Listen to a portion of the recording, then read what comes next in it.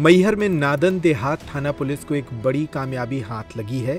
Police ने यहाँ एक टबेरा गाड़ी से नौ सौ इक्यासी शीशियाँ जब्त की हैं, जिसमें एक नशीला कफ सिरप मौजूद था।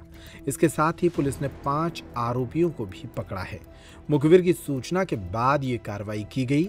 जब पुलिस ने सर्चिंग के दौरान एक टबेरा गाड़ी को रोककर उसकी जाँच पड़ताल की तो पुलिस के होश उड़ गए। एक तेज रफ्तार टबेरा गाड़ी अमरपाटन की तरफ़ जा रही थी।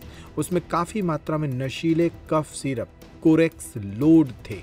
अमरपाटन से मैहर की तरफ़ जा रही इस टबेरा गाड़ी को थाना प्रभारी के एन बंजारे ने रोककर जब इसकी जाँच पड़ताल की तो इसमें से नौ सौ इक्यासी शीशियाँ जब्त की गईं। पुलिस अधीक्षक मैहर सुधीर अग्रवाल ने बताया कि इस मामले में पाँच आरोपी पकड़े गए हैं और सभी से पूछताछ की जा रही है। जैसा कि आप जानते हैं, रीवा जोन में लगातार नशे के विरुद्ध कार्रवाई की जा रही है। इसी अनुक्रम में कल मैहर ज़िले के देहा थाना क्षेत्र में एक कार्रवाई की गई है। वाहन चेकिंग के दौरान एक मोटरसाइकिल पर दो युवक मिले, जो कि पीछे से एक टवेरा गाड़ी को पायलट करके लेके आ रहे थे। और जब उनको पकड़ा गया तो कुल पाँच लोग इसमें से पाए गए और गाड़ी में लगभग आठ नौ सौ सी सी कोरेक्स की मिली, जो कि नशीली दवा है, और जिसका सेवन ग्रामीण क्षेत्रों में और अर्ध ग्रामीण क्षेत्रों में युवाओं के द्वारा नशे के रूप में किया जाता है।